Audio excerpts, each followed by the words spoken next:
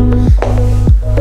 Right right, कैसे हो आप सब लोग? होपफुली आप बिल्कुल मज़े में हो अपने घरों में बिल्कुल सेफली तरीके से रह रहे हो बिकॉज़ आजकल क्वारंटाइन पीरियड चल रहा है। क्वारंटाइन मीन्स आपको पता है कोरोना वायरस इंडिया में बहुत ज़्यादा फैलने लगा था लेकिन इंडियन गवर्नमेंट ने बिल्कुल राइट right मोमेंट पे लॉकडाउन कर दिया 21 दिन का। सो so, आज I think six seventh day है लॉकडाउन का और मुझे भी बहुत सारी प्रॉब्लम हो रही है बिकॉज़ मैं भी घर पर बैठता हूँ बहुत ज़्यादा बोर हो जाता हूँ और घर के सारे काम मुझे खुद ही करने पड़ रहे हैं। In fact we have to do everything right from the morning सुबह उठते हैं फिर सफ़ाई वगैरह होती है बर्तन मांज रहे हैं और सब चीज़ें खुद ही कर रहे हैं बिकॉज़ ये टाइम ही ऐसा है जिसमें आप बाहर के भी किसी कुक और मेड को अलाउ नहीं कर सकते because you have to maintain social distancing so first of all blog को स्टार्ट करने से पहले मैं आपको ये बताना चाहता हूँ कि guys please be at your home stay home stay safe and always maintain social distancing जब तक ये कोविड नाइन्टीन बिल्कुल ज़ीरो नहीं होता था तब तक आप इन चीज़ों को फॉलो कर लो। जो भी आपको गवर्नमेंट बोल रही है बाहर जाके या गैदरिंग करके या कोई फ़ायदा नहीं है इस टाइम पे। आप अपने घरों में रहो और बिल्कुल सेफली तरीके से रहो। सो so, आज का ब्लॉग स्टार्ट करने से पहले मैं आपको ये चीज़ बता देता हूँ कि क्वारंटाइन पीरियड में मैं भी बाहर नहीं जा पाऊँगा, इसलिए जो भी मैं ब्लॉग बना रहा हूँ, वो घर पे ही बैठ के बनाऊँगा।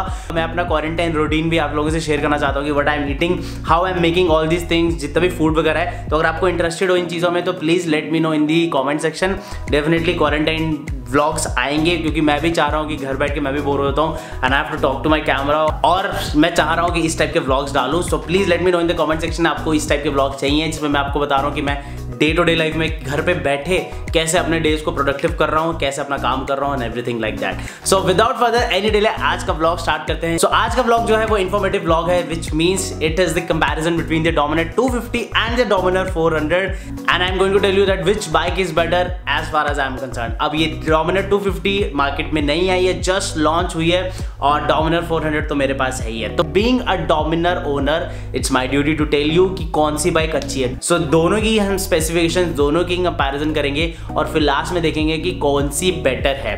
आपको डोमिनर 400 लेनी चाहिए या फिर Dominar 250 so without further any delay let's start the video so before starting the video just want to say hello नमस्ते श्री कलादाब and good morning from Maddy और जितने भी लोग नए हैं इस चैनल पे जितने भी लोग नए देख रहे हैं इस वीडियो को क्वारंटाइन वीडियो है यार इसलिए घर बैठ के बनानी पड़ रही है बाहर नहीं जा पाऊँगा आराम से।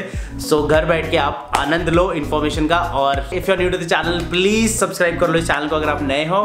और ऐसा मत सोचो कि मैं घर बैठ के वीडियो बनाता हूँ मैं बाहर भी जाता हूँ राइड भी करता हूँ। अब ये क्वारंटाइन पीरियड है तो यहाँ पर घर बैठ के वीडियो बनानी पड़ेगी। सो so, वीडियो को स्टार्ट करते हैं in three two one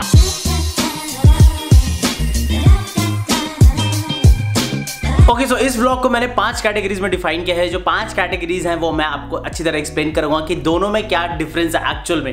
Dominar 250 और डोमिनर 400 लास्ट तक वीडियो देखना, तभी आपको समझ आएगा कि मैं जो पॉइंट्स बता रहा हूँ, वो क्यों इंपॉर्टेंट है किसी भी बाइक को कंसिडर करने के लिए। सो फ़र्स्ट पॉइंट है इज़ द इंजन अब हम इंजन की बात करते हैं। जो डोमिनर 250 का इंजन है, वो है 250 सीसी इंजन और डोमिनर 400 का इंजन है that is the 400 CC which is approximately 373.33 something like that so Dominar 250 CC का जो इंजन है that is the twin spark and Dominar 400 का है ट्रिपल स्पार्क अब मैं आपको बताता हूँ कि ये ट्विन स्पार्क और ट्रिपल स्पार्क में क्या डिफरेंस है। वैसे कोई ज़्यादा आपको देखने में लगेगा नहीं difference but it means a lot in terms of bikes अगर मैं दोनों इंजन की बात करूँ, बिल्कुल सेम है। सिंगल सिलेंडर है यू नो डी लिक्विड है ये इंजन है। अब मैं आपको बताता हूँ कि डिफरेंस क्या है इसमें। जो डोमिनर 400 में ट्रिपल स्पार्क इंजन है it means it result in the better fuel combustion rate जो फ्यूल कंबस्टन रेट अगर जिस बाइक का ज़्यादा होगा उसकी पावर अच्छी होगी उसकी एफिशिएंसी अच्छी होगी उसका जो रेशो है फ्यूल कंबस्शन और पावर का रेशो वो अच्छा होगा। सो so, जो ट्रिपल स्पार्क इंजन है डोमिनर 400 में दैट इज़ वेरी गुड लेकिन जो उन्होंने डोमिनर 250 में दिया है that is the twin spark triple spark का जो कंबस्शन रेट ट्विन स्पार्क से 27 परसेंट ज़्यादा होता है which is very good so इसलिए ट्रिपल स्पार्क आपकी बाइक में होना चाहिए। सो so, मेरे हिसाब से डोमिनर 400 में एक इन्होंने ट्रिपल स्पार्क की टेक्नोलॉजी एड अप की है जिससे उसकी पावर अच्छी है जिससे उसका पिकअप अच्छा है जिससे उसकी एफिशिएंसी अच्छी है। So this is the first point engine engine terms में दोनों बाइक का इंजन ऑलमोस्ट सेम है। सेम इन द सेंस अगर वो 250 है तो उसका 250 होगा और ये डोमिनर 400 इसका 373 है।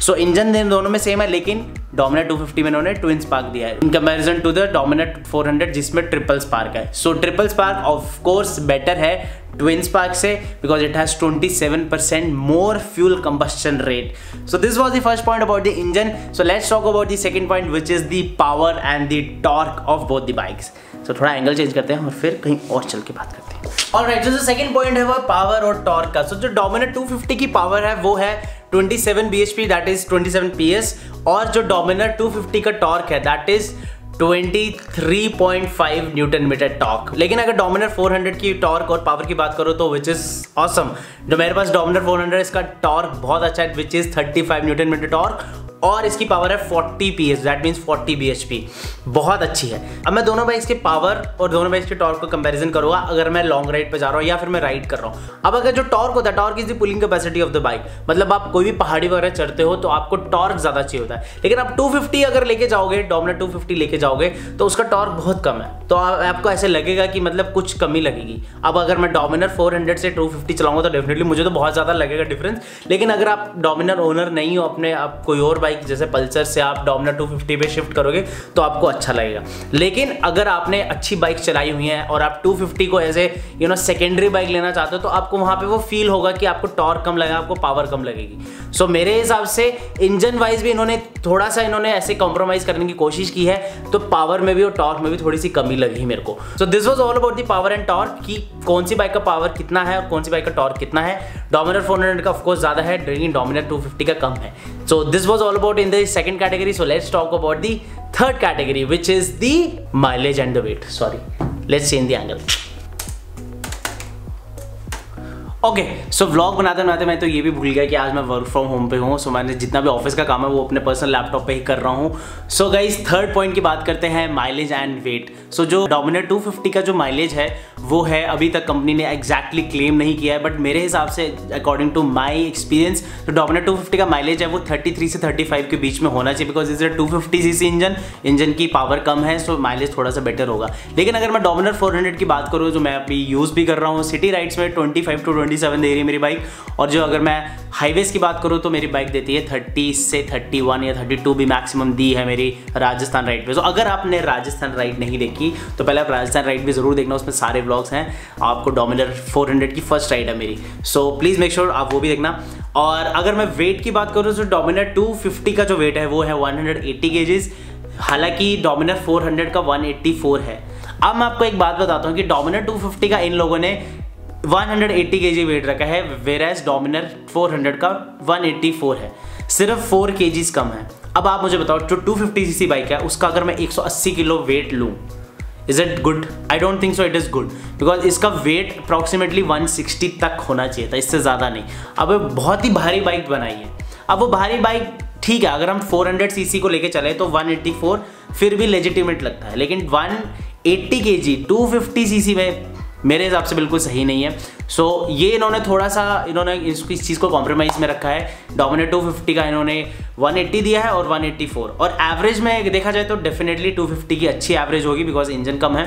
So this was all about the mileage and the weight category so this was the third category मेरे हिसाब से 250 सीसी में इसका जो वेट होना चाहिए था वो 160 के अराउंड होना चाहिए इससे ज़्यादा नहीं। 180 इज़ वेरी मतलब बहुत ज़्यादा है। मेरे हिसाब से ज़्यादा वेट है सो कम होना चाहिए था। So this was all about the third point so let's talk about the fourth point अभी काम को थोड़ा सा देते हैं रेस्ट और चलते हैं दूसरी जगह। फोर्थ पॉइंट डिस्कस करें।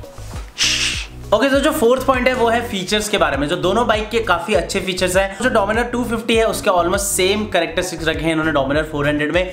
लेकिन जो दो फीचर हैं जिन चीज़ की मैं बात करना चाहता हूँ वो है गेयर इंडिकेटर जो डोमिनर 250 में नहीं है। ये बहुत ही इन्होंने गलत किया। मेरे हिसाब से गेयर इंडिकेटर होना चाहिए था। अब जो डोमिनर की फील है, वो गेयर इंडिकेटर हो टाइम हो, सामने सब चीज़ें दिख रही हो, वो चीज़ अच्छी है। अब इन्होंने गेयर इंडिकेटर नहीं दिया डोमिनर 250 में। दूसरी चीज़ जो मुझे कमी लगी, वो है डोमिनर 250 में इन्होंने बॉक्स टाइप स्विंगाम दी है। अब ये बॉक्स टाइप स्विंगाम को मुझे पॉइंट नहीं समझ आया कि मतलब अगर आप स्विंगाम दे रहे हो तो नॉर्मली आप बीम टाइप स्विंग आर्म दो ना जो डोमिनर 400 में थी। और इसका जो अपसाइड डाउन फोक है, इसका यूएसडी फोक है डोमिनर 250 का, वो भी छोटा है डोमिनर 400 से। सो मेरे हिसाब से, मेरे हिसाब से अगर आप डोमिनर 250 को यू नो रफ टेरेंस में चलाओगे ऑफ़ में करोगे तो आपको हल्का सा वो वो ना, वो कहते हैं ना स्मूथनेस नहीं फील होगी जो आपको डोमिनर 400 में होती थी। अगर आपने डोमिनर 400 नहीं चलाई तो आपको डिफरेंस नहीं लगा लेकिन अगर मैं डोमिनर 400 चलाई है, चाहे अपनी है, चाहे अपने दोस्त की है तो आपको वो फील होगा।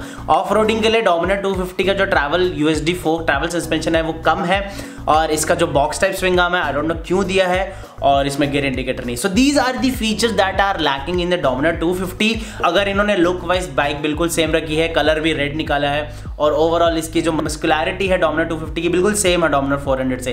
तो इन्होंने सिर्फ़ इंजन में डिफरेंस देना चाहिए था। अब इन्होंने यही सब चीज़ों में भी यू नो कैरेक्टर सिक्स में भी थोड़ी सी लैकनेस रख दी है which makes me thinks twice की मुझे डोमिनर 250 रेकमेंड करनी चाहिए या नहीं रेकमेंड करनी चाहिए। मेरे हिसाब से अभी भी डोमिनर 400 बेटर है। So this was all about the fourth point की फीचर्स क्या है, कुछ फीचर जो मिसिंग है वो मैंने आपको बताए, और कुछ फीचर्स जो डोमिनर 400 में वो लिटरली बेस्ट है उसके प्राइस और उसकी बाकी चीज़ों के हिसाब से। अब प्राइस की बात आती तो फिफ्थ पॉइंट पे आता so let's talk about the fifth point which is called the price of the bikes okay so let's talk about the price of both the bikes Dominar 250 का प्राइस है, वो है 1.6 लाख एक्स शोरूम और जो Dominar 400 का है, वो 1.9 लाख अब यहाँ पे एक छोटा सा कहता है ना गैम्बल है। गैम्बल ये है कि डोमिनर 400 का जो प्राइस वो बिल्कुल रीजनेबल लगता है। सुन के ही आपको लगेगा 400 सीसी दो लाख से कम लेकिन ढाई सौ ढाई सौ सीसी डेढ़ लाख से ज़्यादा। सो so, दोनों का जो प्राइस डिफरेंस है वो है थर्टी थाउज़ेंड रुपीज़ तो ये जो मुझे पॉइंट खटकता है क्योंकि इनका जो प्राइस होना चाहिए था वो that has to be between 1.4 to 1.5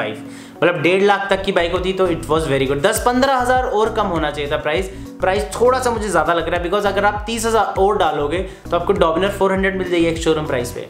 तो आप डोमिनर 250 क्यों लोगे? आप खुद सोचो, आप 1.6 लाख इन्वेस्ट कर रहे हो, लेकिन अगर आप 1.9 लाख करोगे तो आपको 400 सीसी इंजन मिल रहा है, और उसमें इतनी सारी फीचर्स भी एक्स्ट्रा हैं। जो इन्होंने फीचर्स यहाँ से हटाए हैं। सो so, मेरे हिसाब से डोमिनर 250 का प्राइस थोड़ा सा ओवर प्राइस लगी मेरे को।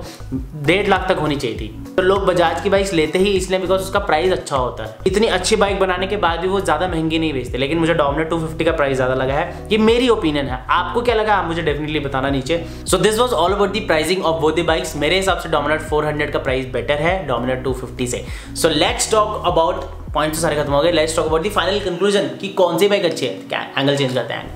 ओके सो मेरे हिसाब से जो डोमिनर 400 है, वो डोमिनर 250 से बेटर है। क्यों? Just because of thirty thousand price price की सारी बात आ जाती है यहाँ पे। अगर वो जो प्राइस थर्टी थाउज़ेंड से फिफ्टी थाउज़ेंड होता तो डेफिनेटली मैं आपको बोलता कि डोमिनर टू फिफ्टी आप ले सकते हो। नो डाउट डोमिनर 250 बहुत अच्छी बाइक है। अगर आप डोमिनर फैमिली से नहीं हो अगर आप बजाज की बाइक कोई भी नहीं चलाया आज तक और आपको बेसिक बाइक लेनी है 250 सीसी तक की बाइक लेनी तो आप डोमिनर 250 ले सकते हो। सिटी के लिए बहुत अच्छी रहेगी नो लॉन्ग राइड्स के लिए अच्छी रहेगी। ऑफ़ रोडिंग में आई डाउट थोड़ा सा प्रॉब्लम होगा लेकिन डोमिनेट 400 में ऑफ़ रोडिंग में भी अच्छा है। और एक और चीज़ मैं बताना भूल गया जो डोमिनेट 400 का है वो एल्यूमिनियम एलॉयज दी हैं एज डोमिनेट 250 में नॉर्मल एलॉयज दी हैं। सो so, ये बहुत बड़ा डिफरेंस है। So if you were to take my opinion I would definitely go for Dominar 400 just thirty thousand कुछ नहीं होते, अगर आप डेढ़ लाख खर्च रहे हो तो उस पर तीस हज़ार और डालोगे, आपको फोर हंड्रेड सी मिल जाएगा। So this was all about the comparison between the Dominar two fifty and the Dominar four hundred hopefully आपको ये ब्लॉग अच्छा लगाओ I try to give you each and every information जो मेरे को अभी तक मिली है सोर्सेज से डोमिनो 250 की। और डेफिनेटली अगर आज लॉकडाउन नहीं होता मैं बाहर जाकर डोमिनो 250 चलाता और मैं आपको बताता कि एक्चुअल फील क्या है। So this was all about in this blog hopefully आपको ब्लॉग अच्छा लगा होगा। और अगर अच्छा लगा है तो please make sure to like the blog please make sure to share this blog with friends because those who are planning to buy 250 they should know कि वेदर 250 इज़ बेटर और डोमिनर 400 सो so, दोनों better है अपने अपने segment में but definitely pricing की बात आती है जहाँ तक वहाँ पर Dominar four hundred over power कर जा रही है डोमिनर 250 को। सो so, मेरे हिसाब से डोमिनर 400 बेटर है in terms of in terms of almost everything so this was all about this video make sure to like this video make sure to subscribe the channel if you are new to the channel and also hit the bell icon to get all the notification and also let me know in the comment section कि ये quarantine blogs बनाओ या नहीं बनाओ। अब मैं आपको सब कुछ चीज़ें दिखाऊँ, मैं क्या कर रहा हूँ डे टू डे लाइफ में, घर बैठे बैठे बहुत प्रोडक्टिव चीज़ें, कुछ ड्रोन शॉट्स भी ऐड अप करूँगा। So please let me know the comment section ये चीज़ें बनानी चाहिए या नहीं, आप इंटरेस्टेड हो या नहीं प्लीज़ बताओ। और please let me know Dominar two fifty और Dominar four hundred for you so मिलते हैं नेक्स्ट ब्लॉग में टिल देन राइट राइट जब right happy right confident and please do take good care of self खाओ, पियो, मज़े करो, ऐश करो गाइस क्या पता कल हो ना हो। इसलिए जो करना लाइफ में करो और अगर अभी भी कोई डाउट है तो कमेंट सेक्शन आपका है इंस्टाग्राम आपका है इंस्टाग्राम की आईडी ये है इंस्टाग्राम आपका है, वहाँ पे डीएम करके सारे क्वेश्चंस के आंसर आप ले सकते हो। Thank you so much for watching video I meet you very in the next video